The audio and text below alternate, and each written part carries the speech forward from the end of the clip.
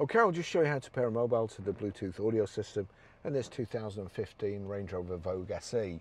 Uh, so first of all, what we do, we go to Bluetooth, switch Bluetooth on, and then we're watching down here at the bottom. Over to the system, click phone. You'll see there, at the moment it's just showing what phones can be connected, but you've got search new, so we click search new, Please select a search option below, device to vehicle, vehicle to device. I'm going to do vehicle to device. Click there. It's looking for it now. Just watch. Searching, searching, searching. Barrie's iPhone 15 Pro. Click on that. To pair and connect phone, enter 36101 on handset. 3610 pair allow contacts and favorites to sync. Allow.